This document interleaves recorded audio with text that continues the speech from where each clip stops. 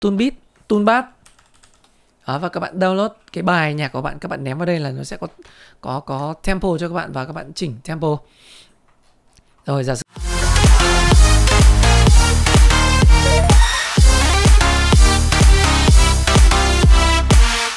Hello, xin chào các bạn, mình là Thế Phương VBK đến từ VB Music và các bạn có thể liên lạc với mình qua các địa chỉ đăng nhập nháy trên màn hình. Đây là lịch phát sóng theo chủ đề trên kênh để các bạn có thể chờ đợi bài giảng một cách chủ động hơn. Hiện tại thì mình đang bán các bộ video hướng dẫn hóa âm phối khí, bán đồ phòng thu, nhận dạy hóa âm phối khí và nhận hóa âm phối khí cho sáng tác mới. Rất là mong anh em ủng hộ. Ngoài ra thì mình còn có một group về tự học web studio Việt Nam. Nếu mà anh em thích thì em em chui vào giao lưu nhé. Ok, và hôm nay thì mình sẽ đến với các bạn trong một bài chia sẻ về thủ thuật cách soạn hợp âm uh, khi mà các bạn chưa có nhạc lý hoặc là các bạn chưa nhớ được nốt nhạc. Đó.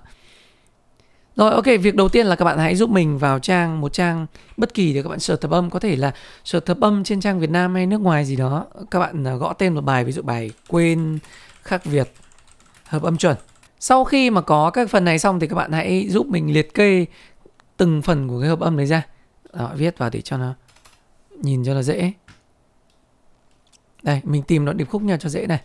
Này, C này, D này. Em giờ ra sao rất vui hay đang buồn có khi nào. Nào trong phút giây em chợt nhớ đến anh. Đó thì à, rồi viết nốt cái đoạn sau này. Anh thì vẫn thế vẫn yêu em như ngày nào. Vẫn là người luôn dõi theo em mà thôi. Đó thì các bạn sẽ search được một loạt thử âm như thế này. Thì dựa vào tông và tempo họ cho hoặc là các bạn có thể sử dụng một trang web như là Toolbit, Toolbat đó, và các bạn download cái bài nhạc của bạn các bạn ném vào đây là nó sẽ có có có tempo cho các bạn và các bạn chỉnh tempo. Rồi giả sử bây giờ nó khoảng 80 rồi Em giờ ra sao? Rất vui. Ok là tempo khoảng 80 Đó ờ, thì bây giờ các bạn có hợp âm như này Và bây giờ là các bạn à, chưa biết nhạc lý Thì các bạn không biết soạn như nào. Thì các bạn đưa giúp mình một cái piano vào. Đó, Cái việc đầu tiên là các bạn giúp mình Viết lại toàn bộ các cái nốt nhạc mà có chữ in hoa trong hợp âm của bạn. C D B E. Đó, C. Đó. Ở quãng 8 khoảng quãng 8 thứ à, 3 và quãng 8 thứ 4 C này. D này. Đó B E. Đó các bạn cứ viết lần lượt thôi. C D G G đúng không? Cái sau là C D E M M. Đó gần như giống nhau.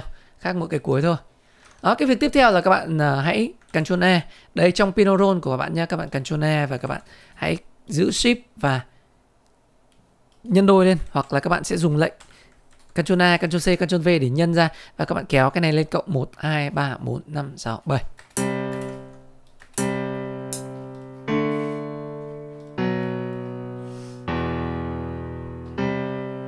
Đó, rồi ok, cái việc tiếp theo là các bạn hãy giúp mình lại tiếp tục Ctrl C, Ctrl V và các bạn hạ cái này xuống.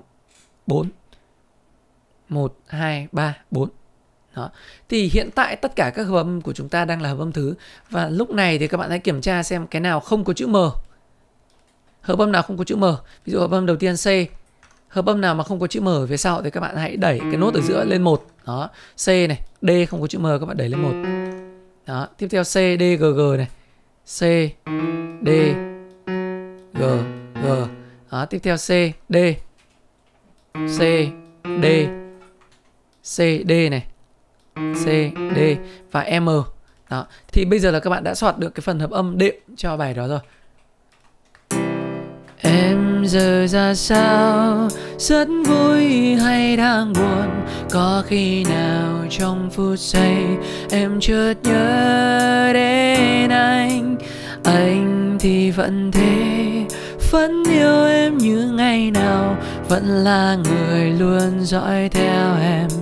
Mà thôi Đó có thể là cái ờ, mic của mình hơi trễ một tí, Đây là do cái phần mềm nó quay bị trễ nhá Không anh em lại bảo mình xanh nhịp thì chết rồi ok, cái này thì nó uh, dành cho những bạn nào mà đã biết nhạc lý rồi thì cái này uh, nó hoàn toàn không bao giờ sai ở tất cả các cách soạn bởi vì nó dựa ở trên ừ, gọi là một cái quá trình đúc kết của mình dựa trên nhạc lý. Nếu mà các bạn uh, học uh, nhạc lý thì các bạn sẽ có quãng ba trưởng và quãng ba thứ thì hợp âm trưởng trưởng sẽ bằng R cộng T cộng T tức là cộng quãng ba trưởng cộng quãng ba thứ nhá. Cộng quãng ba trưởng cộng quãng ba thứ hợp âm thứ sẽ là R cộng quãng 3 thứ cộng quãng 3 trưởng. Và nếu như mà so trên chromatic thì quãng 3 trưởng nó sẽ là 4. Và đây sẽ là 3. Và đây là 3, đây là 4. Thì cấu tạo một hợp âm tự nhiên của bạn gồm đây là 3, đây là 4. Cấu tạo hợp âm tự nhiên của các bạn nó gồm có 3 nốt đúng không? Thì các bạn thấy nốt đầu tiên luôn luôn giữ nguyên, đó là nốt chủ âm của các bạn in hoa đây. Tiếp theo là cái nốt quãng 5 của bạn. À, nếu mà các bạn chưa biết nhạc lý thì các bạn bỏ qua cái, cái cụm từ quãng 5 rồi. Thì cái nốt thứ ba của các bạn nó sẽ cộng 3, cộng 4 hay cộng 4, cộng 3 đều là cộng 7. Thì đây các bạn chỉ việc copy và các bạn nhân lên 7 thôi. Đây các bạn copy các bạn nhân 1 2 3 4 5 6 7. Đó thì tất cả hợp âm trưởng thứ đều cách 7 như vậy.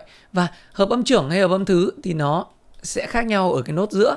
Đó và khi mà các bạn đang từ bên trên các bạn hạ xuống 3, các bạn 1 2 3 4.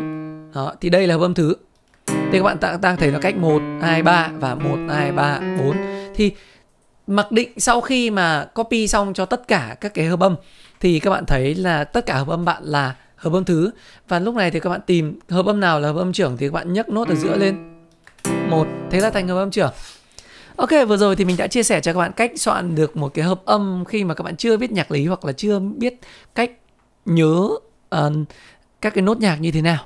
Mình là Thầy Phương VPK đến từ VP Music và sẽ rất vui nếu như các bạn ủng hộ mình trong thời gian tới bằng cách sử dụng các sản phẩm dịch vụ của mình nhé.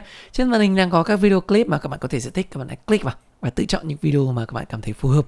Ngoài ra các bạn cũng có thể là đặt câu hỏi cũng như là vào phần danh sách phát để bọn mình có thể trả lời câu hỏi trả lời thắc mắc của bạn một cách uh, thấu đáo hơn nhé. Còn bây giờ thì tạm biệt và hẹn gặp lại các bạn trong những video clip tiếp theo. Bye bye.